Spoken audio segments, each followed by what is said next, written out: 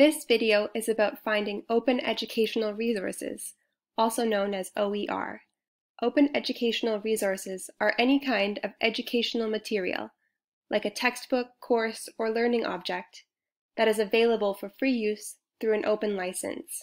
OER is often created by experts, reviewed for quality, reusable by other educators, and adaptable to meet the needs of individual courses.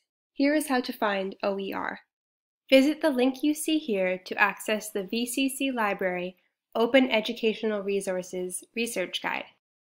The first page you will see is the Find, Evaluate, and Adopt OER page, where you will find a helpful list of databases and collections that you can use to find OER. Each collection will look a little bit different and will specialize in different types of resources. Read the descriptions below each link to help you select which ones to search. Here is what it looks like to search BC Campus, which is a collection of open textbooks. You can search for textbooks by keyword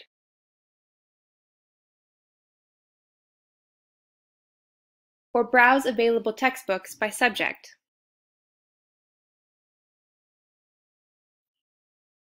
Click the textbook link to learn more about it and to access it.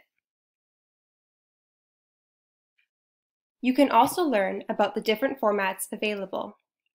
There is a version that you can read online, another version that you can edit to adopt specifically for a course, and also an option to buy the hard copy. Here is what it looks like to read the open textbook online.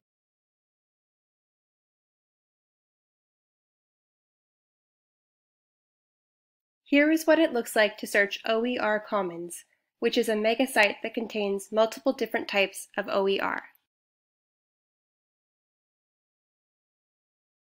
Use the search bar on the home page to search for keywords.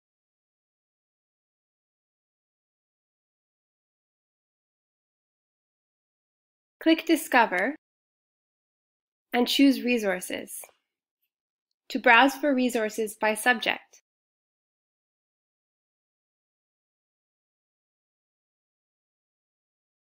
Use the filters on the left to narrow down your search.